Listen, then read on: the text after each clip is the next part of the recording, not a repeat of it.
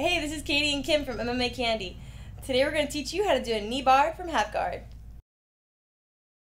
I'm going to show you how to do a knee bar from half guard.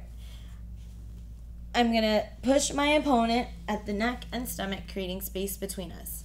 As I step over her, I'm going to grab her leg, pull it backwards, pushing my hips outwards and her leg up and back until she taps.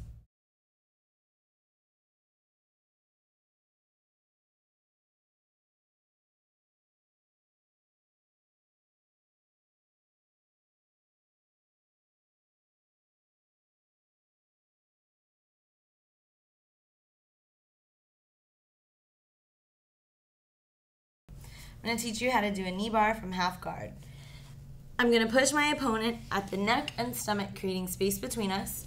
As I step over her, I'm going to grab her leg, pulling it up and backwards as I push my hips out and back until she taps.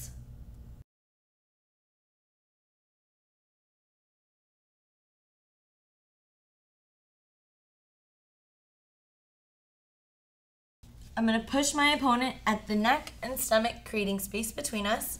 As I step over her, I'm going to grab her leg, pushing it up and back as I push my hips out and backwards until she taps.